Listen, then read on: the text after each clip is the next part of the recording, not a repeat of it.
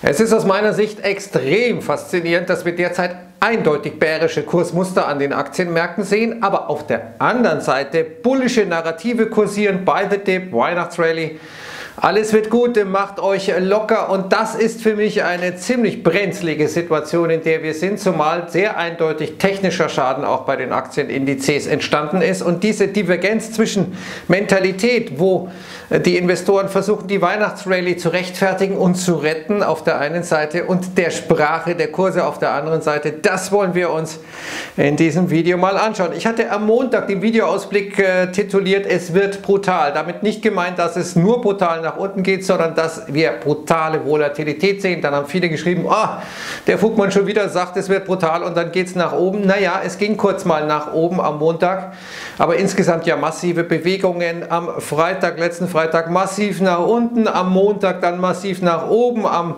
Dienstag dann mit äh, den Aussagen von Paul massiv nach unten, gestern erst massiv nach oben, dann massiv nach unten. Also da ist schon einiges am Start und die Angst wäre viel, viel größer, wie Figuring Out Money hier nochmal äh, zeigte. Wenn wir etwa bei diesen Aktien wie Nvidia, Tesla, Microsoft und Apple nicht eine solche Stärke hätten, äh, wenn man mal guckt, wie weit die von ihrer 50-Tageslinie sind, also von einem wichtigen gleitenden Durchschnitt, da muss man schon Raketen hinschießen, so weit ist das äh, entfernt. Und wenn das mal irgendwie korrigiert, dann wird es unangenehm, denn es sind diese Aktien, die das Ganze noch irgendwie am Start halten. Hier sehen wir nochmal Omicron.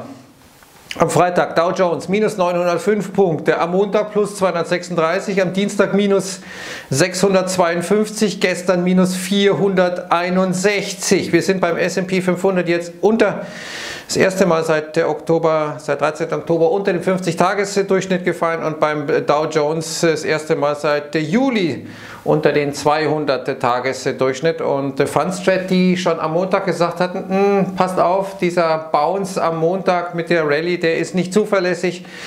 Die sagen, okay, wir haben jetzt eine Unterstützung in dieser Zone 4500, 4500 äh, Punkte, 4550 Punkte. Der 50-Tages-Durchschnitt beim S&P 500 äh, bei 4530. Da sind wir gestern mal durchgefallen. Aber wir sehen jetzt ein Muster immer wieder. Es äh, geht äh, zunächst mit einem, es geht an der Wall Street, dann ähm, zum Handelsende meistens doch deutlich runter. Dann kommt der asiatische Handel, dann geht es nach oben. Die Europäer machen weiter. Dann öffnet die Wall Street mit einem dicken Gap und dann geht es wieder nach unten. Das ist aber kein bullisches Muster, meine Damen und Herren. Das sind bärische Muster. Schauen wir uns mal hier die Aussagen nochmal von Jeromicron an, dem gefährlichsten Virus, das derzeit zirkuliert für die Märkte, nämlich der hawkischen Drehung von Jerome Paul, der gestern ja seine Aussagen wiederholt hat. Jetzt hat Mester heute Loretta Mester ähm, das nochmal bestätigt. Äh, faster Taper, äh, an option to hike if we have to. Also schneller mit dem Tapering fertig werden, damit wir dann die Zinsen anheben können. Heute kommen einige Fed-Speaker noch oben äh, drauf. Aber was äh, dann gestern die Drehung verursacht hat, das waren zunächst mal Aussagen von Fed-Chef Williams, der eben eigentlich als dovish gilt, aber dann eben auch hier gesagt hat, faster tapering, der gesprochen hat von Inflation, aber der vor allem Stagflationsängste hervorgerufen hat, weil er eben gesagt hat, ja, also der Rebound, der scheint sich zu verlangsamen in der Wirtschaft und auf der anderen Seite scheint sich die Inflationsdynamik in bestimmten Bereichen zu beschleunigen. Da waren die Aktienmärkte not amused an der Wall Street und wir sehen, dann kam die Meldung Omikron auch nachgewiesen jetzt in den USA. Die Amerikaner haben wahrscheinlich gedacht, ja, wir sind Supermacht, gell? Also die anderen haben das Omikron, bei uns traut sich das nicht rein.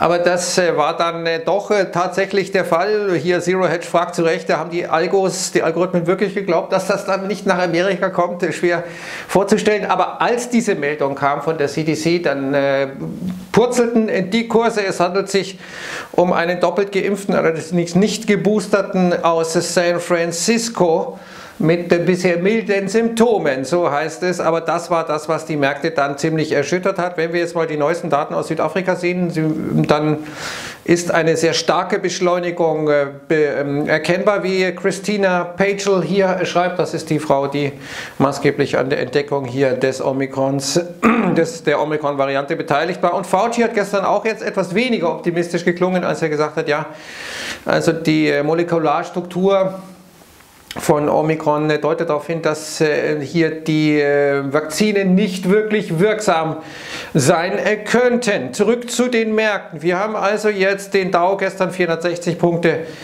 ähm, im Minus gesehen. Das oder das ist insofern erstaunlich, als wir ja schon 520 Punkte im Plus waren. Also das sind 1000 Punkte. Äh, die da mal eben von äh, oben nach unten dann äh, praktisch gelaufen sind. Der S&P 500 mit minus 1,2 Prozent unter der 50-Tageslinie. Der Nasdaq Composite war schon 1,8 und 1,8 Prozent im Plus, um dann 1,8 äh, zu fallen. Also das ist äh, schon eine heftige Geschichte.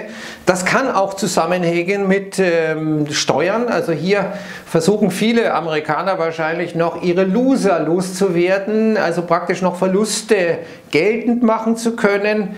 Es sind ja einige Aktien durchaus gefallen. Wenn man sich mal die Marktbreite anschaut, dann sind es ja vorwiegend die großen Tech-Aktien, die das Ganze so schön in den Indizes erscheinen lassen. Aber die kleinen Aktien, ich hatte das mehrfach schon gesagt, oder andere Aktien sind da weniger erfolgreich und die zeigen besondere Schwäche derzeit möglicherweise, weil die Amerikaner eben, wenn sie andernorts auf Gewinnen sitzen, jetzt ihre Loser verkaufen, ihre Verlierer verkaufen, um das dann steuerlich gegenrechnen zu können. Das könnte ein wichtiger Punkt sein, auch erklären, warum solche Big Tech Stocks wie Apple eben da stehen, wo sie stehen, obwohl die Lage sich auch hier nicht äh, wirklich verbessert. Aber sei es drum, hier jedenfalls sehen wir dieses Muster Gap ab. Also erstmal ein Aufwärtsgap, das dann wieder abverkauft wird. Was die Bullen bräuchten, wie Sven Hendrik hier zeigt, ist ein Abwärtsgap, das dann in eine Rallye mündet. Das ist eine bessere Aussage aus Sicht der Bullen. Und gestern waren wir zum Beispiel im S&P 500 85 Punkte im Plus, um dann äh, 140 Punkte negativ zu sein. Also das sind 225 Punkte. Das ist eine verdammt große Strecke, die da absolviert wurde. Wir sehen auch äh, interessant, obwohl ja gestern mit dieser Meldung Omikron auch in den USA dann abverkauft wurde, sind die Stay-at-Home-Stocks, also die Zuhausebleib-Aktien wie Netflix, wie Amazon, die haben davon nicht profitiert. Die sind auch gefallen und was besonders interessant ist, wir sehen, dass die teuren Aktien besonders unter Druck gekommen sind. Auch gestern wieder, nämlich die Aktie mit einem hohen Price-to-Sales-Ratio, also mit einer hohen Marktkapitalisierung in Relation zum Umsatz. Man flüchtet also in Qualität und geht raus aus dem Junk, denn es ist schlichtweg so, und das ist, glaube ich, der entscheidende Punkt, der noch nicht so richtig erkannt wird. Wenn Jerome Powell jetzt nicht mehr der Unterstützer der Aktienmärkte ist, der die Aktienmärkte bei jeder Gelegenheit beruhigt, sondern jetzt oberster Inflationsbekämpfer ist, dann ist das eine schlechte Nachricht für völlig inflationierte Vermögenspreise, wie wir sie eben in den Aktienindizes, in den Aktienmärkten sehen. Dementsprechend wäre ich da jetzt ein wenig vorsichtiger. Man unterschätzt wahrscheinlich dieses Potenzial, das von der Fed ausgeht. Die Flut hebt alle Boote, aber jetzt wird eben faktisch angedeutet, dass diese Flut endet und dann werden wir eben sehr schnell sehen und das zeigt eben diese Grafik hier, wer nackt gebadet hat in der Flut, wer dann plötzlich keine Unterhose mehr anhat. Und das sind äh, sehr, sehr viele. Hier sehen wir übrigens mal den Nasdaq 100, den Dezember Future auf Tagesbasis, also ein etwas längerer Chart. Das könnte eine Schulterkopf-Schulterformation sein, meine Damen und Herren. Aber wir haben ja diese bullischen Narrative. Es wird schon alles gut. Wir wollen die Weihnachtsready retten. Und so hat äh, Mr. Kolanovic von JP Morgan nochmal gesagt. Also guckt mal hier, also die ähm, Omikron-Variante, die scheint äh, zwar hoch ansteckend zu sein, aber milder zu sein. Und das ist eine verdammt gute Nachricht schon deshalb, weil die dann wahrscheinlich die Delta-Variante verdrängt, also eine mildere Variante verdrängt unbedingt eine gefährlichere, so die These von Kolanovic, der natürlich äh, langjährige Erfahrung als Virologe hat. Bill Eckman stimmt ihm dazu. Ja, das könnte sich bullisch äh, ausdrücken in den Märkten, dass also hier diese mildere Variante sich durchsetzt. Wir wissen es nicht, aber es zeigt eben das Bedürfnis hier, diese bullischen Narrative, die Weihnachtsrallye aufrechtzuerhalten. Kolanovic hatte ja gesagt, Value, Value, Value. Ähm, das sind jetzt die Aktien, die besonders unter Druck sind, eben diese Sektoren, die überhaupt nicht gut laufen. Rohstoffe laufen derzeit nicht gut, all das hatte Kolanovic ja empfohlen, aber hier sehen wir nochmal andere Kaufempfehlungen, kauft den Dip, Anthony Scaramucci, äh, Nancy Tengler, hier nur eine Zusammenstellung von einigen Meldungen vom 26. November, also praktisch in Reaktion auf den Abverkauf von Black Friday. Letzte Woche haben schon alle gesagt, musst du kaufen, musst du kaufen, musst du kaufen, aber auch der WIX spricht eine andere Sprache. Wir sehen hier, die Vola ist deutlich gestiegen, hat hier einen Boden ausgebildet, ganz klar im Bereich 15, 16. Rückschnapper sind in diesem Chart logisch und wahrscheinlich. Das heißt, wir werden immer wieder diese Counter-Rallies bekommen. Die Frage ist nur, wie nachhaltig sind die und ist das der übergeordnete Trend oder ist das sozusagen die Gelegenheit, ein bisschen abzuladen?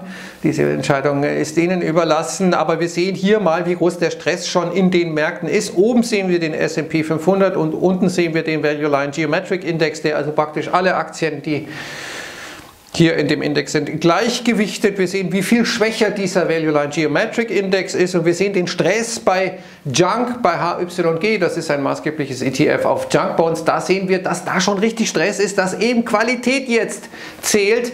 Und Junk wird äh, abverkauft, Junk ist schlecht. Und äh, hier schauen wir uns mal an, Quartalschart im S&P 500, also jedes Quartal eine Kerze und da sind eingezeichnet immer diese QIs durch die Fed etc. QI Infinitive, also praktisch oder Infinite, also praktisch äh, ewiges äh, QI.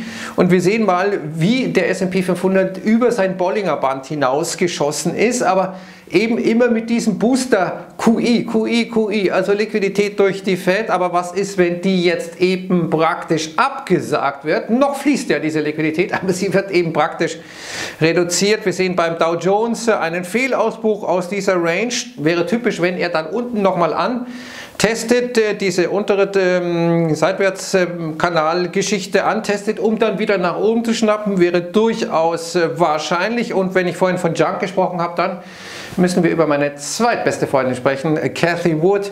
Äh, wir sehen gestern, dass äh, ihr ARC-K das erste Mal seit langer, langer Zeit unter 100 gefallen ist und wie Julian Bridgen richtig sagt, diese ähm, Aktien oder diese Werte, die ähm, Madame Wood im Depot hat, die leben sozusagen und sterben von derselben Hand. Sie lebten durch die Liquidität der Fed und sie werden sterben durch die Liquidität der Fed. Wir sehen also hier dass äh, die Gefahr wohl am größten ist. Was ich erstaunlich finde, ist, dass die CEOs und Corporate Insiders so viel verkauft haben jetzt wie noch nie, also praktisch von ihren Optionen, von ihren Aktien, die sie haben. Das ist das eine. Wir haben ja kürzlich gehört, Santella von Microsoft äh, hatte praktisch die Hälfte seiner Aktien verkauft, Amazons äh, Bezos äh, hatte hier viel verkauft. Auf der anderen Seite aber kaufen eben diese Firmenchefs für ihre Firmen ihre eigenen Aktien zurück, die Buybacks auf absolutem Rekordniveau.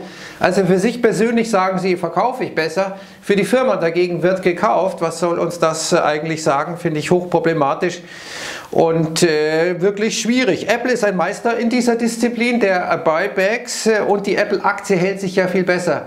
Warum das so ist, da haben wir gestern Abend einen Artikel drüber geschrieben. Apple-Aktie viel besser als die Indizes. Hedge gegen fallende Märkte werde ich Ihnen unter dem Video verlinken. Heute Nacht dann die Meldung jetzt von Bloomberg. Oh, Apple hat seinen Zulieferern gesagt, dass die Nachfrage nach iPhones wohl ähm, nicht so richtig toll ist.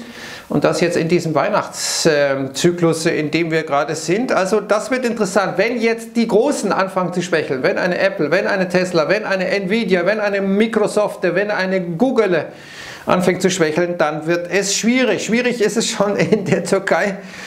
Da sehen wir die Hyperinflation in ihrem äh, Endstadium oder in ihrem vollen Lauf. Hier hat jetzt Erdogan den Finanzminister rausgeschmissen und will ihn ersetzen durch einen, der also praktisch da willig sagt, ja, hohe Zinsen sind schlecht, wir brauchen zur Bekämpfung der Inflation äh, Zinssenkungen. Da ist ja der Ratschib der einzige auf der Welt, der das annimmt, gell? Man sieht die Folgen in der Lira. Noch kurz frische Meldung vom IFO.